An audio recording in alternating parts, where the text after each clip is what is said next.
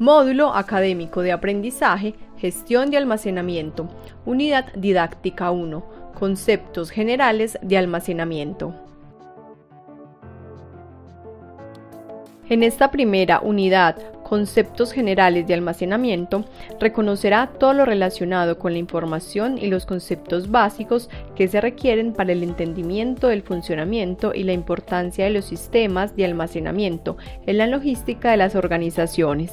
Hoy en día, los almacenes, los centros de distribución y las plataformas de cross-docking son eslabones fundamentales en la cadena de abastecimiento y son grandes generadores de valor en la eficiencia en costos y nivel de servicio, que son los principales diferenciadores a la hora de prestarle servicios logísticos a los clientes.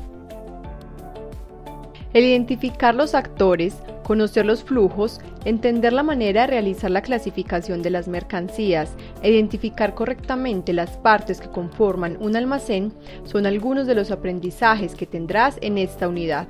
Así que bienvenidos al maravilloso mundo logístico. Tradición, transformación